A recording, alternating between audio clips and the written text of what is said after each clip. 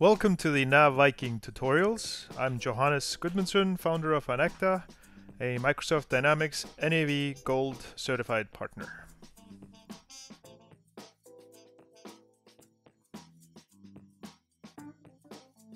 Hello and welcome to the Coffee Mug tutorials. We're going to keep going on production in Business Central.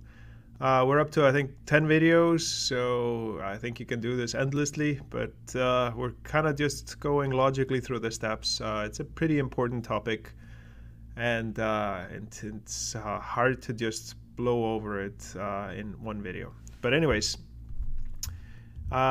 we had created the standard coffee bean right here, or coffee beans. And if I look at that, we basically set up a uh, costing method standard and for each pound it's three dollars right? So if I actually go out of here and I adjust the inventory using this new feature of Business Central um, it brings up a window. Let's see. There we go.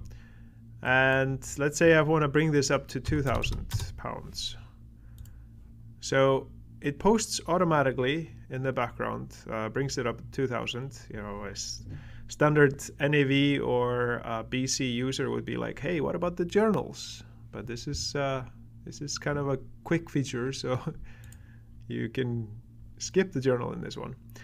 So actually, if I get in here and I look into the entries, I can see that there is a positive adjustment that was made. Um, and it basically brings the uh, the balance up to 2000 uh, so yeah here's this one here for 520 and it costed it at three dollars each. So it didn't matter what the last direct cost was. It didn't matter what you bought it for last time. Uh, the costing of it when you do an adjustment is always three dollars because standard costs three dollars $3 everywhere. So it kind of simplifies things. Obviously, when you buy it at a different price than the standard cost, that gets a little bit complicated.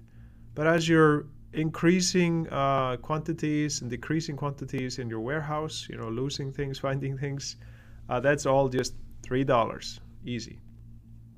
So let's go ahead and see how this affects the uh, uh production order. So go into released production orders again. I'm just going to create a new one here. And uh, we're going to go through the same process as we've done many times in these videos. So standard coffee. Uh, let me see. Standard ground coffee right here. And I'm going to do it for a thousand pounds. So we're making a thousand pounds. Uh, and I just refresh it, hit OK and now we got the production order.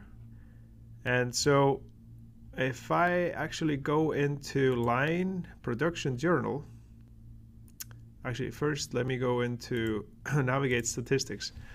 Here we can see the cost. So now it's not just zeros like in the beginning of the videos where we're just running around with quantities and didn't really care what the cost. Cost is of course huge. Um, so now we have cost and the expected cost is 3,300. The capacity cost, and that's for material, the capacity cost is 1,000. So we have that in here. And total is 4,300. And the capacity cost is made out of a thousand minutes, right? So we're estimating it takes 1,000 minutes to do this, and it's a dollar a minute, $60 an hour. It takes to run this machine with the person, whatever it is. All right, so let's close that out and actually post something. We go into the line, go into the production journal. This is kind of a handy screen to post both consumption and output at the same place. And let's say we ran for one day and we got 500 pounds. We used 500 pounds. Uh, we ran for one day, which was 480 minutes. And we were able to output uh, 450 pounds. So we're going to be a little less. There's, there's a scrap factor there, obviously. Uh, so we go ahead and post, post this. Uh, you see that it's successfully posted. If I just get out of this uh, and let's see, go home and into statistics, now we can see that we have actual costs. So I have now that we've used 1500 uh, $480 in the capacity. Total is 1980. We used 480 minutes. Deviation is this, etc. So once we actually finish this, we'll see how off we are on these. And uh, you can make a deduction of whether you're estimating your cost correctly or not. But the, the interesting part about this is that the material cost is all costed according to standard cost. So you already fixed the cost for all the materials, and now it's just a matter of how much of each you used, whether the actual is going to be different from standard. Um, so, and we can get more into detail in further videos on that.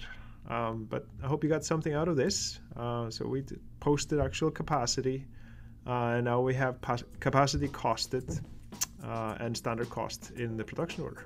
So thumbs up if you got something out of this, and uh, until next time, thank you.